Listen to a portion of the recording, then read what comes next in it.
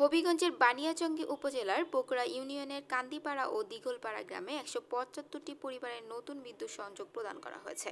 আজ বিকেলে সুইচ টিপে বিদ্যুৎ সংযোগ প্রদানের উদ্বোধন করেন হবিগঞ্জ দুই আসনের সংসদ সদস্য অ্যাডভোকেট আব্দুল মজিদ খান। এ উপলক্ষে কান্দিপাড়া মাঠে আয়োজিত উদ্বোধনী অনুষ্ঠানে গোপেশ চন্দ্র দাসের সভাপতিত্বে প্রধান অতিথি হিসেবে বক্তব্য রাখেন সংসদ সদস্য।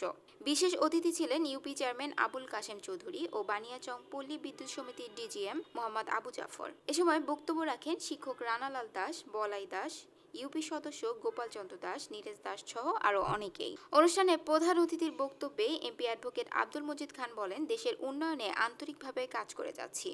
আমার নির্বাচনী এলাকায় বানিয়াচং আজমিরিগঞ্জের প্রত্যন্ত অঞ্চলে বিদ্যুতের আলো পৌঁছে গেছে।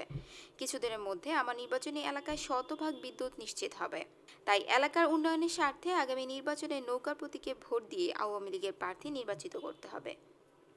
হবিগঞ্জ থেকে অপু আহমেদ রসনের তথ্যচিত্রে পল্লী টিভি নিউজ ডেস্ক।